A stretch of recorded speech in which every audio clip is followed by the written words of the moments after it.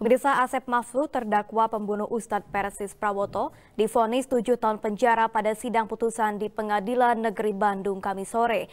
Meski sempat dinyatakan mengalami gangguan jiwa, Pengadilan Negeri Bandung tetap menjatuhkan hukuman terhadap terdakwa karena telah sengaja membunuh Ustadz Prawoto.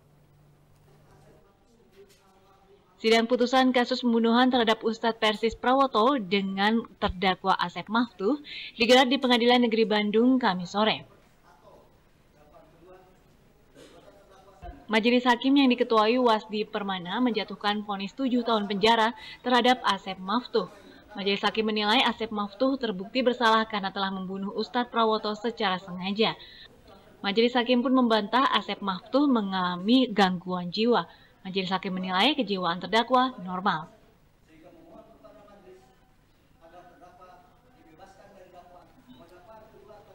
Fonis tersebut lebih berat dari tuntutan jaksa penuntut umum yaitu 6 tahun 5 bulan.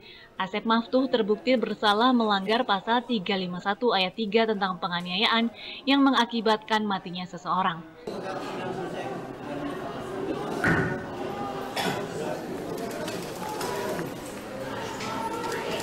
Meski telah dijatuhi hukuman tujuh tahun penjara, masa Persis yang hadir dalam persidangan merasa tidak puas. Masa kecewa karena putusan tersebut terlalu ringan. Masa berharap terdakwa dihukum seumur hidup. Ya minimal seumur hidup.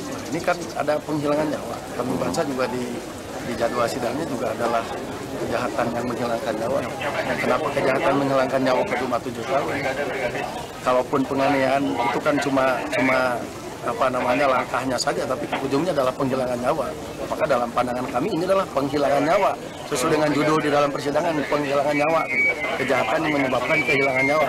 Karena ini ada kehilangan nyawa maka ya minimal seumur hidup. Kalau bisa ya nyawa lagi yang hilang Sebelumnya, Ustadz Prawoto yang merupakan Ketua Brigade Persis meninggal dunia setelah dianiaya Asep Miftah di rumahnya di kawasan Cigondewa, Kota Bandung, Februari lalu.